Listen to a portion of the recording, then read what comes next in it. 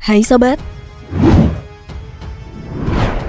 Musibah alam berupa gempa bumi lagi mengguncang Pulau Jawa lebih tepatnya Provinsi Jawa Timur. Kali ini gempa darat dengan kekuatan magnitudo 2,7 skala Richter diketahui telah mengguncang Kabupaten Malang, Jawa Timur.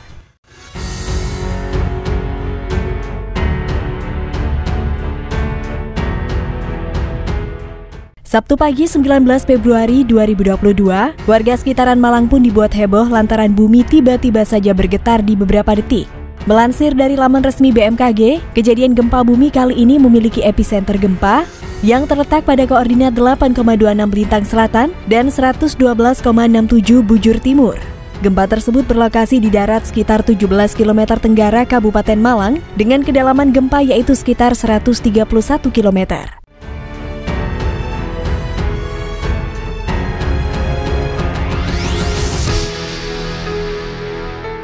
Peristiwa tersebut tepatnya terjadi pagi hari sekitar pukul 8.38 waktu Indonesia Barat saat sebagian masyarakat sekitar sedang akan memulai aktivitas masing-masing.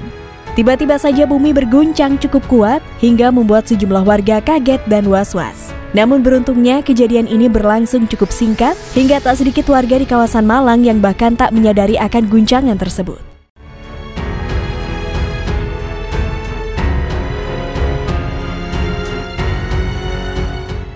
Sementara ini dibuat, belum ada laporan mengenai kerusakan bangunan sebagai dampak gempa bumi tersebut. Hingga kini hasil monitoring BMKG juga belum menunjukkan adanya aktivitas gempa bumi susulan atau aftershock.